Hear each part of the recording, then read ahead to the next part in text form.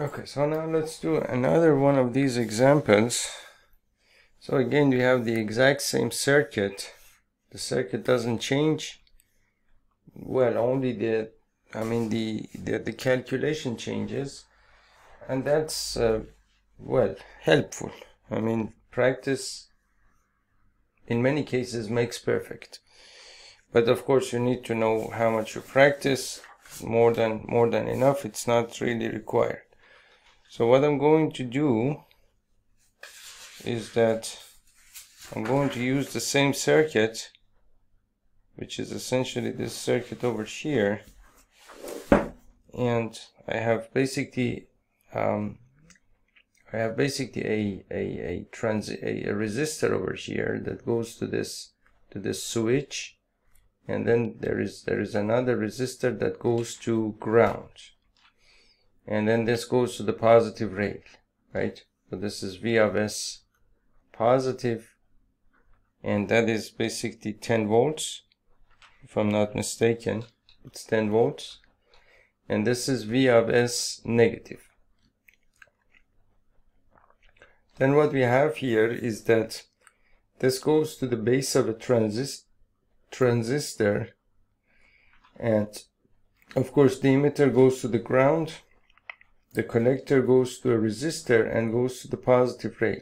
From this point, which is essentially the collector voltage of this transistor, you basically you give this to, to another to another transistor here and again this transistor the, the emitter goes to the ground and then the collector goes to a uh, basically uh, through a resistor goes to the positive rail and that's basically your whole circuit here right?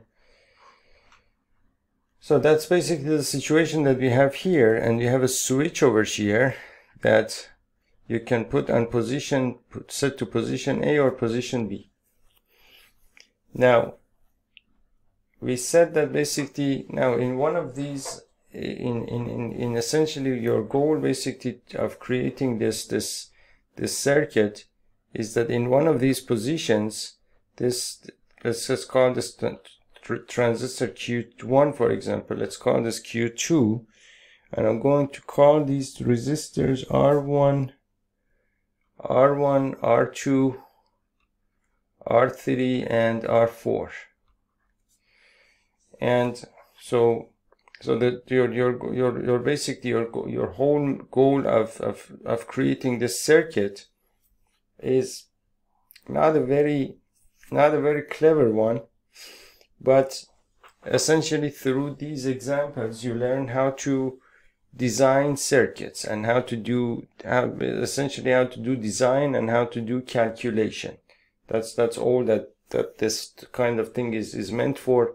Otherwise um, if you think about, for example, this R4 as, as some load over here that you can turn on and off using this switch, of course, you wouldn't need two transistors for that. And um, there are better ways of doing this. Uh, of course, in most cases, you can, you can just simply use the switch and the load itself and the power supply without any transistors. In most cases, of course.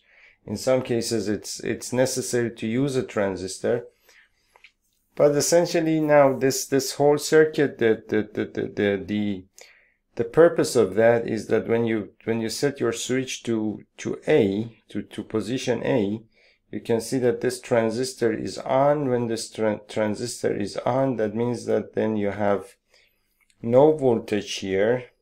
Now of course we have we have talked about basically all of these in the previous videos so I'm kind of basically cutting down on, on explanation, meaning that uh, essentially this whole playlist uh, has to be watched in, in like like in a, in a series. And, and, and that essentially helps me to not talk unnecessarily too much whenever I need to say something, of course I say it, but, but if I have said something about, for example, the same type of circuit in the previous video, then of course I, I, I will not talk about it here that much anymore. so essentially then basically that when when this when this switch is, is set to position A this this transistor is turned on and when this is turned on then then this voltage over here goes to zero that means that then, then this transistor gets no voltage and uh, uh, basically uh, that means that this transistor is then turned off and and then this this resistor gets no current right so that means that in, in position A, you essentially have Q2 is off. And in the other position, position B, your Q2 is on. That's basically the whole situation here. Now about the about the basically the values of these of these um, of these the values that we have for this for this for this exercise we have R4 is equal to 10 ohms is equal to 10 ohms and we have beta 1 which is basically the beta of this transistor here Q1 is 50 and our beta 2 is equal to 20 that's basically all the information that we have right now our goal, basically what we want to do is we want to calculate the value of R3, R1 and R2. R1, R2 and R3. So let's see how we can calculate that. So, so essentially when you when you when you when you turn this this when you when you when you turn the switch when you turn when you turn on the switch when you meaning that when you set it to to, to position A uh, transistor Q1 is supposed to be turned on right? If this is supposed to be turned on then then essentially what happens is that you have to um, you have to basically you have to to to create this, this circuit in such a way that, that the transistor is turned on and um, there is a specific kind of current that uh, that has to go through that has to go through basically Q1 basically right? Now I'll show you basically a way that doesn't work. Uh, I'm going to show you some some way of solving this problem that does not work. And so that you don't make that mistake again, meaning that essentially what you need to do is that you need to start from this point in the circuit and not from, from, from the beginning. If you start from the very beginning, you, from the beginning, you will not be able to solve the problem. So, but now, now I'm going to show you why it does, why, why that, why that doesn't work. Mm, I mean, many people would, would, would, would try to, to make the same mistake. So, if I want to turn this transistor on, you can see that this, this, this is tied to this, to this transistor over here as well. And suppose that I want to turn this transistor on, so I set the switch to, to position A, and then there has to be some current over here through R1 that goes to ground through emit, through the emitter of this transistor. And in order to know what sort of current you need over here, you need to know how, what sort of current you need over here, right? Because, because you know that I of C to I of B is essentially equal to beta. And you need to know first your I of C over here to, and you know the value of beta over here for this transistor to calculate your I of B. So I of B, you cannot calculate it unless you have your I of C. Now, in order to know your I of C, you need to know basically what uh, um, what uh, basically what sort of current over here would turn this transistor on right? Actually what I'm saying actually might work. Let's see if that works. I have never actually tried this before but but I'm I'm, I'm suspecting that, that it would that it that it would not work.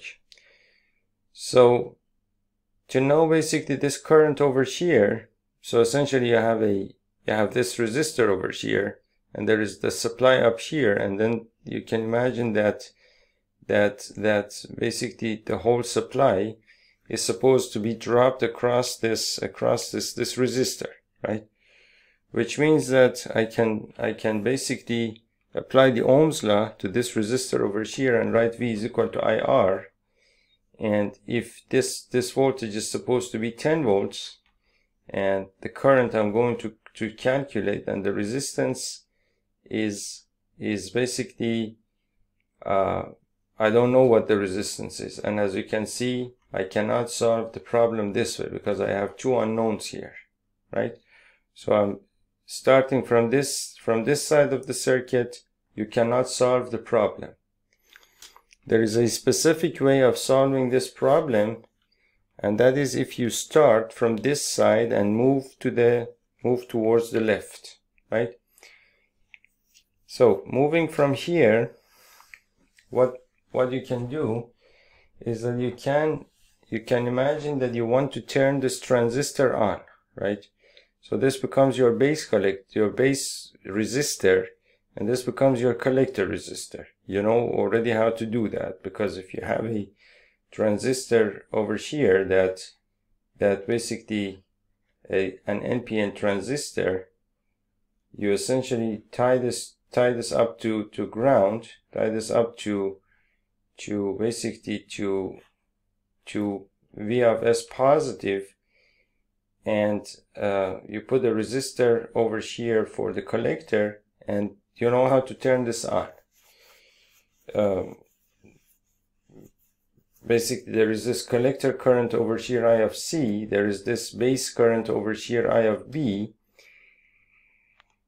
and um, you need to basically calculate what sort of current you need here, and then based on that you can use the, the, the, the beta, basically the beta um, formula in order to calculate this current over here. And then you can you can calculate everything so we so we already know how to do this. So doing the exact same thing uh, so in order for this transistor to be turned on this Q2 to be turned on what I'm going to do is that of course the whole voltage is supposed to be dropped across R4 so if I if I apply basically the Ohm's law to R4, I have V is equal to IR, right? I have V is equal to IR and the voltage across this resistor is supposed to be 10 volts. And the current over here, I don't know what that is, so I, I, I take it as the current. And I had, I had to basically start from this side of the circuit essentially because I know the value of this R4 over here, which is 10 ohm. Right? So this is, this is 10 ohm. And so this tells me that I is the same thing as 10 volt divided by 10 ohm, which is the same thing as 1 amp.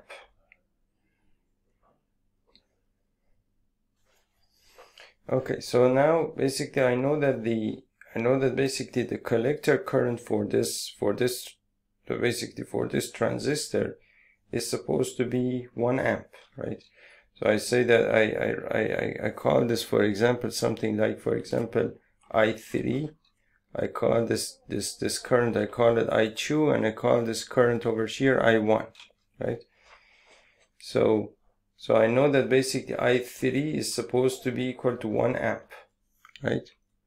And if that is the case, if that is the case, then then essentially um, I I know basically if I write basically I of C to I of B is equal to beta, then basically I can calculate I of 2, which is which is basically the current uh, required for required for for basically for the base of this transistor. I know that basically the collector current is I of 3 and I of 3 is equal to 1 amp.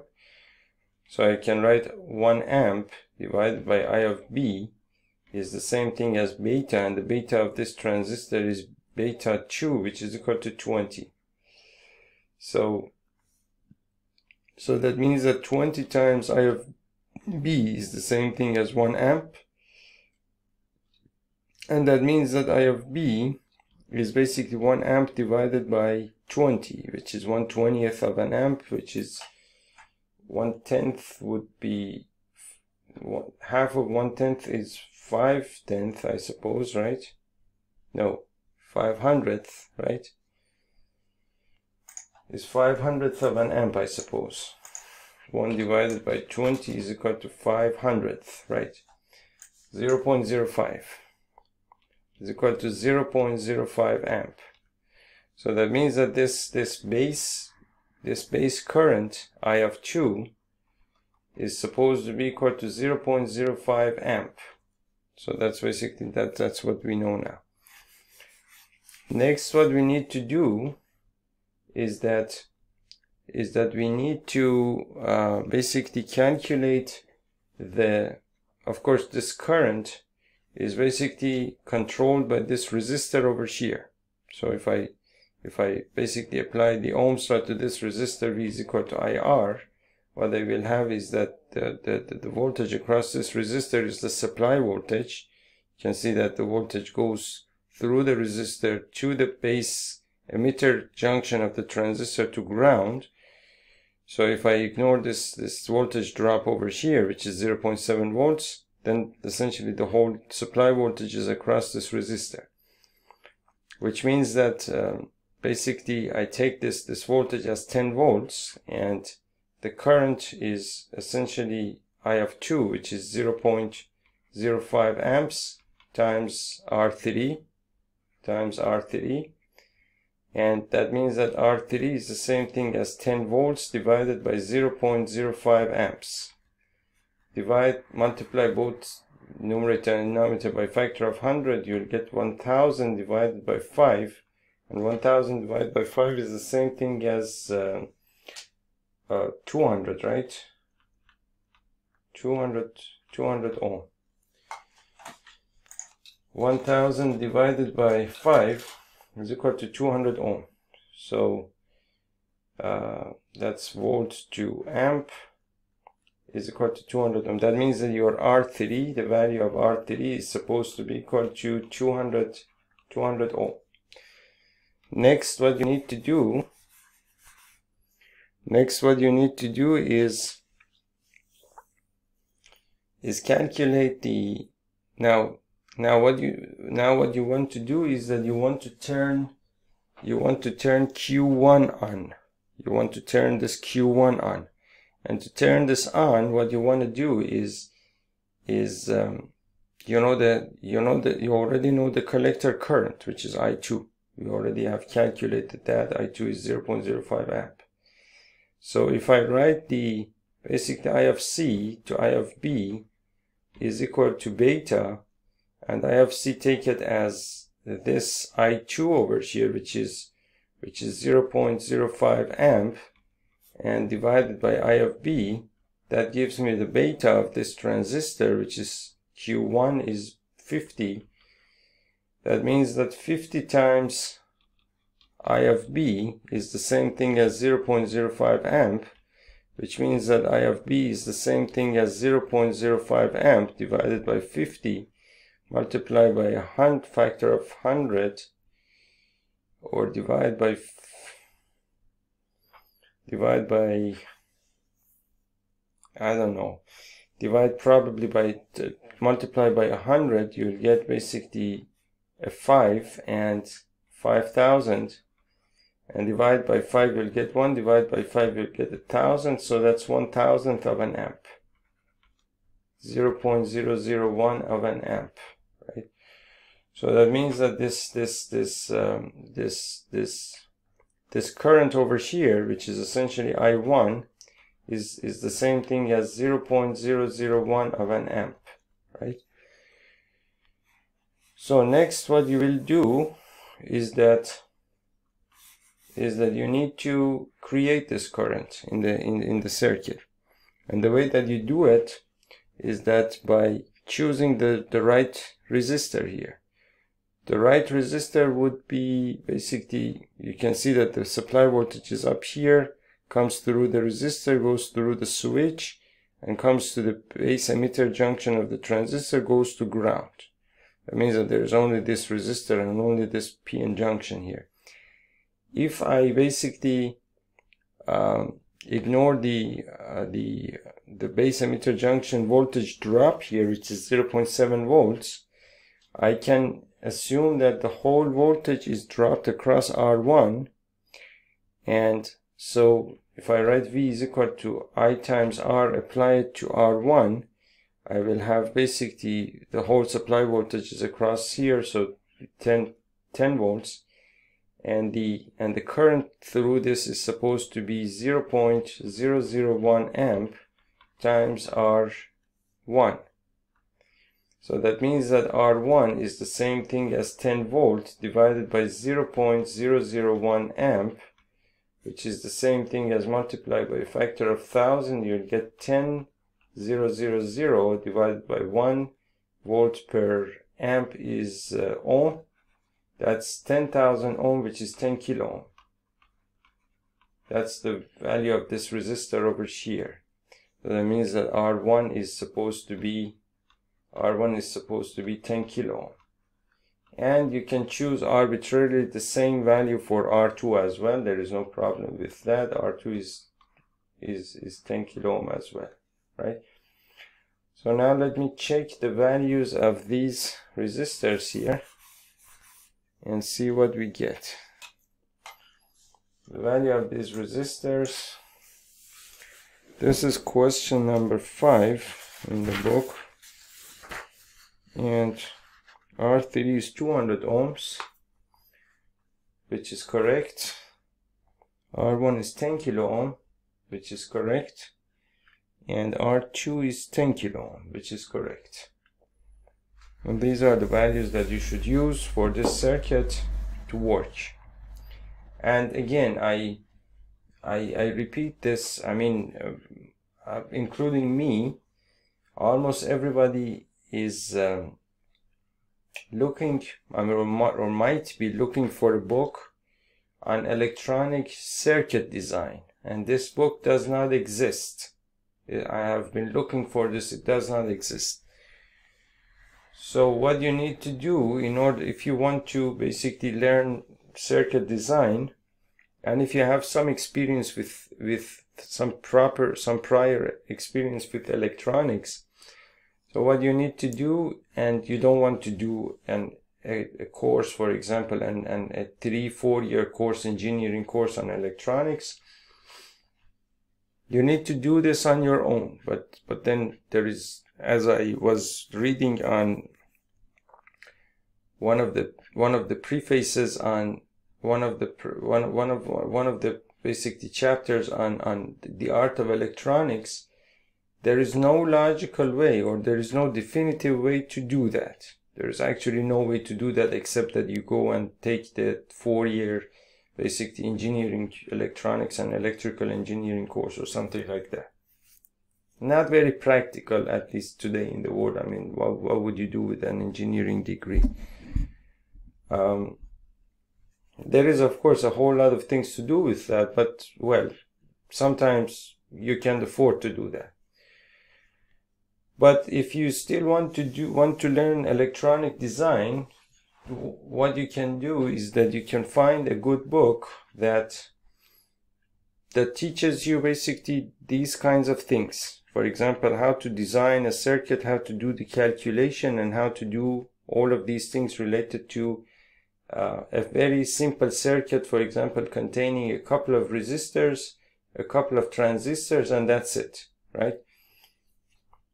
and well as you as you work through for example this book over here that I introduced in the previous video as well and I hope that and I think I it's not there anymore if you if you get your hands on on this book over here which is let me show you the book one more time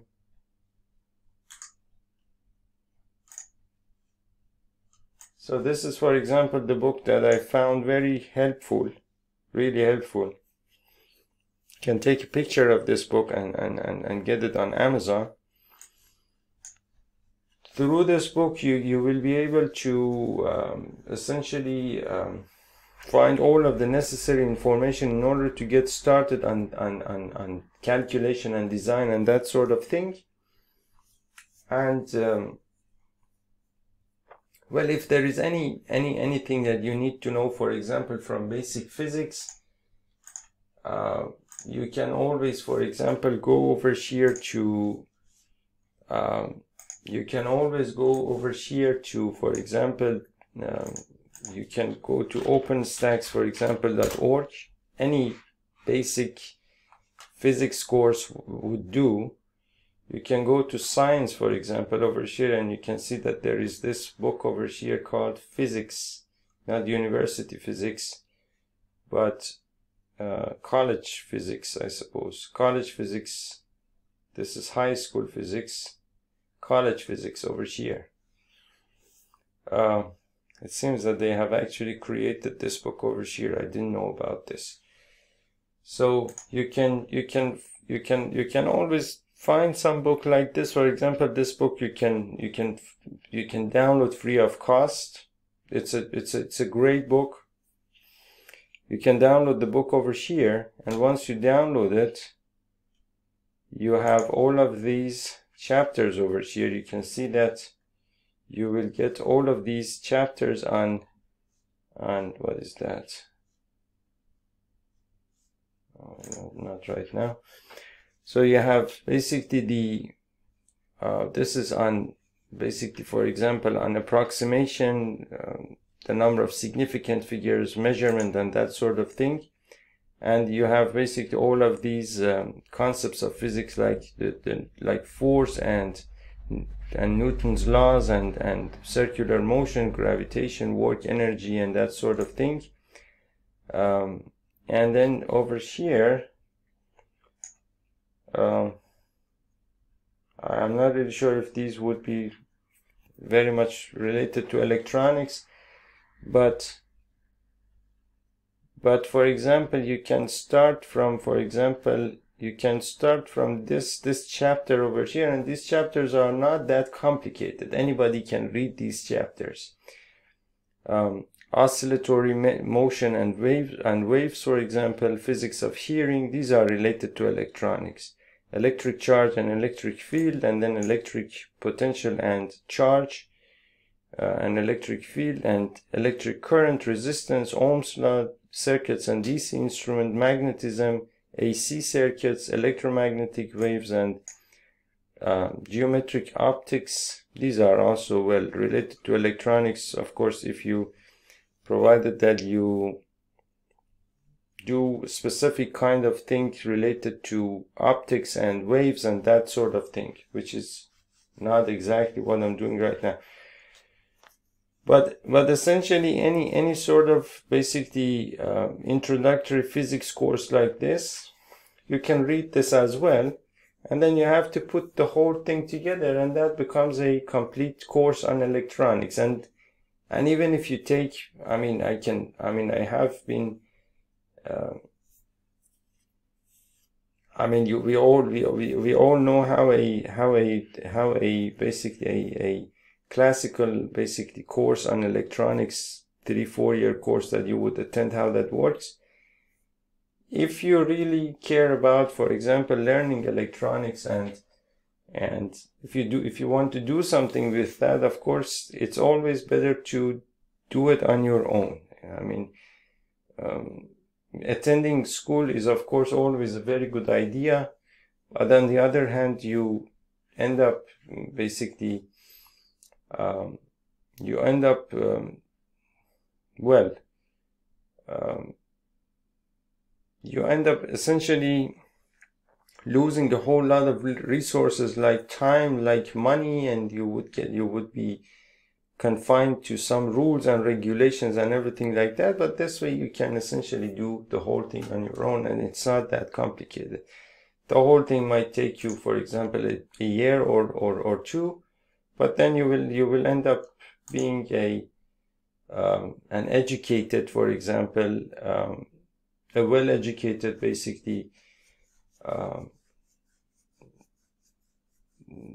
well-educated person that knows well about certain areas of electronics, of course. And then there is, of course, all of the other things that, that, that, that are available in the world of electronics. For example, there is the book the art of electronics that that you can that you can read for example once you've gone through this book then you can start reading about and then you can start reading the art of electronics and over there you will get all of the goodies of electronics, meaning that the, all of the good circuits that work and all of the um, practical schematics and everything that, that, that, that basically go with that. Okay, so I'm not going to, I, I mean, so I suppose I'm done with this type of circuit with two transistors. So now what I will do is that I will do an at least one more example using basically doing three having a circuit having three transistors a, a, a, similar type of thing having three transistors. So i'll see you in the next video and thank you